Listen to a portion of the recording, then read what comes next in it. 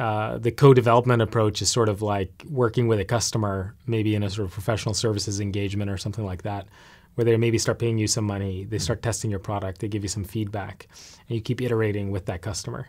The danger there is, is that you end up building something that's sort of customized uh, to one customer yeah, need. Yeah, one customer, and there's not a lot of maybe translating that work to to other customers, and so you do want to have a strong you know vision for what you know what problems you're trying to solve sort of at scale for the market. Mm-hmm. Um, but having a couple of customers who help both finance and help inform you know how you should be solving these problems can be really helpful early on. For us, that was certainly the case with uh, Blue Origin and SpaceX, who helped us solve some of these. Now, as you can tell, those are smaller companies, so they were uh, able to iterate with us quickly, mm-hmm. and there were not many other examples like that in aerospace at that time.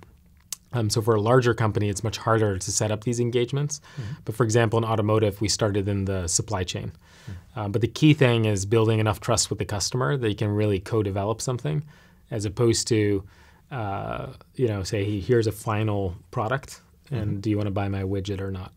And so um, I think the getting the sort of trust from the customer by uh, by willing to you know do some custom development to a certain extent to you know own and solve their specific problem mm-hmm. uh, is is sort of paid back through the ability to then commercialize something that's a broader product applicable for for many customers.